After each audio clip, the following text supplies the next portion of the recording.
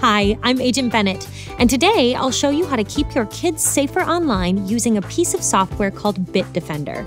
Here's what you'll need a computer that's set up and connected to the internet, and a Bitdefender subscription. This is either a physical card like the one we have in our stores or the digital copy that we sell online. Also, make sure you don't currently have any antivirus, anti malware, or security software installed on your computer as it might interfere with Bitdefender. If you have one of these installed, take some time now to uninstall that program before starting this process. I'll be using an HP Envy X360, so the steps might be a little different depending on your device. All right, let's get started. First, visit bitdefender.com. Click on My Account, then Bitdefender Central. If you have an account, you can sign in or you can create a new one.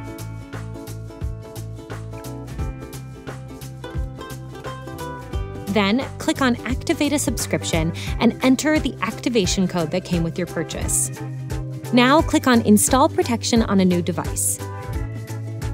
Click on this one. The Download and Install window will open. You can click the email link option to send it to another device that needs protecting. Then find the file and open it. I'm just going to click on the Open File option in my browser. If a prompt for user account control comes up, click on Yes to allow the installation. Then the installer will open and begin to download. When it's done, click the Subscription Agreement.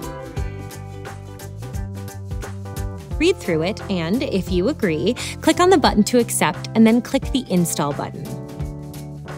The installation process will now begin, and you can keep track of the progress by watching the status bar. When the installation process is complete, run a quick analysis of the computer to see if there are any security concerns. To do that, click on Start Device Assessment. When the scan is done, take a look at the results and then take any necessary actions. Now we'll go to the browser, click on Total Security, and then sign in using your Bitdefender credentials. You can check out subscription details and then click Finish. Then, on the main screen, you can check out some of the main features and options. Let me walk you through a few. We'll start with the Quick Scan feature. This will quickly scan for threats in the most vulnerable locations. To do that, click on Quick Scan. When it's done, if threats were found, you'll see a list, along with recommendations on next steps. When you're done reviewing and possibly acting on each, click Close. All right, now let's move on to the system scan. This will run a more comprehensive scan of the entire system, but you should know that this can take a little while depending on how much content you have on your computer. To get started, click on System Scan, then click on OK Got It. When the scan is done, once again, if there were threats, you'll see a list along with suggestions. When you're done, click Close.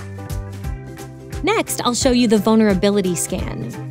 This scan looks for certain settings and items that you might consider changing to improve the security of your computer. To get started, click on Vulnerability Scan. When it's done, click on the drop down arrows to see what was found and the recommended resolution. Then you can decide if you want Bitdefender to fix the vulnerabilities. When you're done, close the window.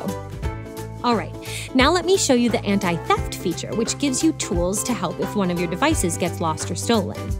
For this to work, the device would need to be connected to the internet. On another computer, go to central.bitdefender.com and sign in. Click on My Devices, View Details, and then the Anti Theft button. Then, click on the action you want to perform. Let's start with Locate, which uses information like the device's IP address to find out a general location of the device. The lock feature will lock the device remotely, requiring a password to unlock it. If it doesn't have a Windows password set up, you can type a password to be used. Otherwise, if it does, it'll default to the regular Windows password. Wipe will erase all the contents of the computer, including Windows. Use this feature if you want to get all the data off the computer. The Webcam Protection feature allows you to give webcam access to certain apps. It also notifies you when an application tries to activate the webcam. Let me show you how to adjust the settings on that one. First, open Bitdefender Total Security. Then, on the left side, click on Privacy. Under the Video and Audio Protection section, click on Settings. In the dropdown, click on Applications that you authorize to use the webcam. Then, finally, click on the sliders to adjust the settings for webcam protection. All right, now let's talk about parental control. This is really important when it comes to keeping your kids safer online. This function allows you to monitor certain aspects of your child's online activity.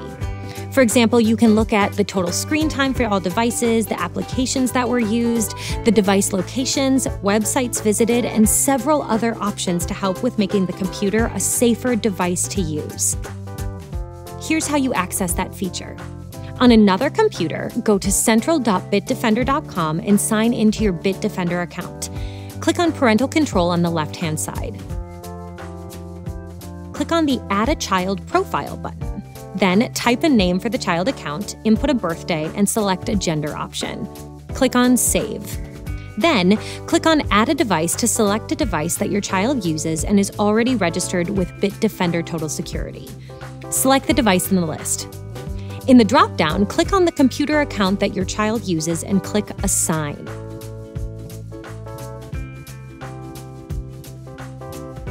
The software will then be remotely installed on the device when it connects to the internet. This is the dashboard where you can see information about the usage on the assigned device and Windows account. All right, the final feature that I'll walk you through today is social network protection. Inside of the parental control, this feature will use artificial intelligence, or AI, to monitor chats. It'll look for things like bullying, meeting requests from unknown contacts, and other things that might be concerning. This isn't a setting, but check the Bitdefender Central website for updates on instances found or trends that they're noticing. And there you go. Hopefully, this video was helpful. If it was, give it a like. If you have questions, let us know in the comments. And don't forget to subscribe to our channel for more tech tips from Best Buy. Thanks for watching.